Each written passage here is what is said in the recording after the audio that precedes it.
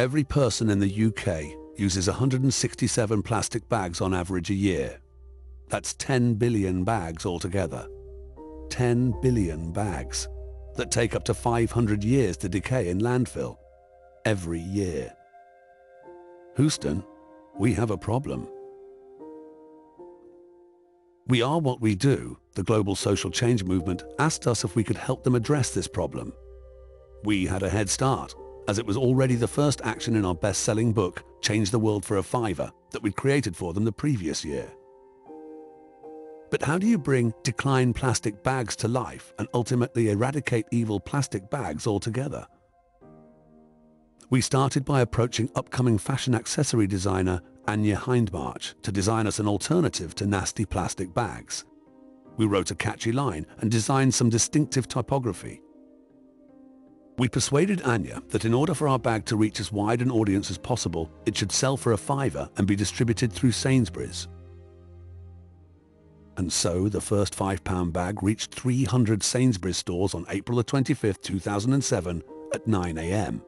By 9.40am on April 25, 2007, all 30,000 had sold out.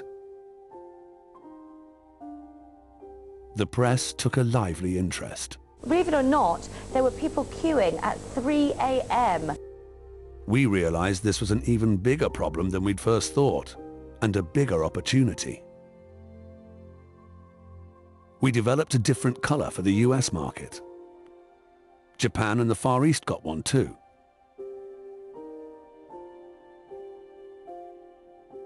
The US bag appeared at the Whole Foods chain, and so did big queues. In Japan, the queues were more like stampedes. Meanwhile, back in the UK, the major supermarkets started to realize this was a big issue and that they were out of step with public opinion. Sainsbury's even gave their own cotton shopper away for free. We'd started a movement that was bigger than just one bag. We called it Plastic Ain't My Bag and produced a range of materials for retailers. A microsite, booklet, window stickers, shelf wobblers, posters and postcards were keenly taken up by shops big and small. Then we approached Marie Claire, who liked it so much they wanted us to produce a bag just for them.